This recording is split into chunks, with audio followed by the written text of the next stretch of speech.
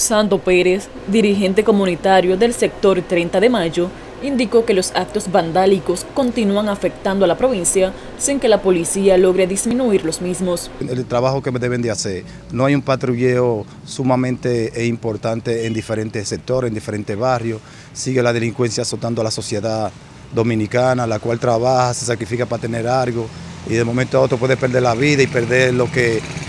lo que ha logrado con tanto sacrificio. Eso yo le doy un llamado al jefe del subcentral que más o menos ya él se ha reunido con cierta sociedad civil,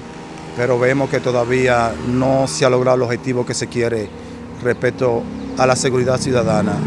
Por otra parte, invitó a la sociedad a la caminata que se realizará el domingo 27 de marzo en procura de las demandas reivindicativas que han estado exigiendo desde hace tiempo en conjunto con diferentes entidades. Hay domingo, la cual nos vamos a concentrar en el Palacio de Justicia frente al Hospital Nuestra Señora de Regla y la cual es por la demanda de lo mismo, el precio alto del combustible, el precio de la canasta familiar, la cuestión de una circunvalación la cual no va a costar demasiado dinero y la cual va a ser de dos carril. Supuestamente yo indagué y supuestamente la aprobación fue de doble carril. Entonces no sabemos quién habla mentira, si los que nos representan políticamente o si esa eh, construcción de esa vía que tanto se esperaba y tanto se, se exigió.